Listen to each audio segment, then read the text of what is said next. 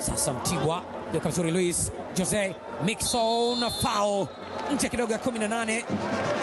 Eneo gumu kuvumilia maumivu kwa Mtibwa ni swala la kuuma meno tu. Tachi nzuri ya Clatous Chota ikamkuta kiungo mgumu wa pembeni wa Simba Luis Mixon. Tuone kama ni nani baina yao. Rally amepishana nao Chama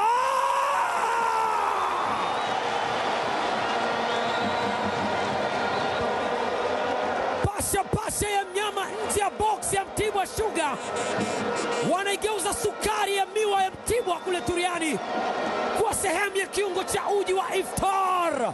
Huu si mchezo ambao anaamka nao vizuri.